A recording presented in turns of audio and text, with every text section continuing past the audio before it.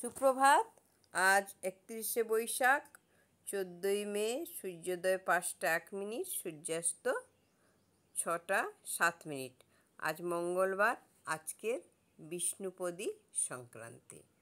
আজকের মঙ্গলবার অনেকেই হনুমান চালিসা পাঠ করেন। হনুমান চালিসা রচনা করেছিলেন তুলসীদাস পনেরোশো পঁচাত্তর খ্রিস্টাব্দে। তিনি তখনই সূর্য থেকে পৃথিবীর দূরতা বলে দিয়েছিলেন। যোগ সহস্র যোজন পর ভানু। আবারও, এই রাম, হনুমান চালিসা অবধি ভাষায় রচিত আছে। তো হনুমান চালিসার পড়ার উপকারিতা বিষয় বলতে গেলে বলতে হয় একসময় আকবর যখন তুলসীদাসকে বন্দি বানিয়ে নিয়েছিল, তখন তুলসীদাস হনুমান চালিসা পড়ছিলেন। আর এই হনুমান চালিসা পড়ার ফলে শয়ে শয়ে বানর এসে আকবরের সাম্রাজ্যকে ঘিরে নেয়। তখন তার মন্ত্রী বলেন যে, নিশ্চয়ই এইটা ওই সন্থর জন্যই হয়েছে।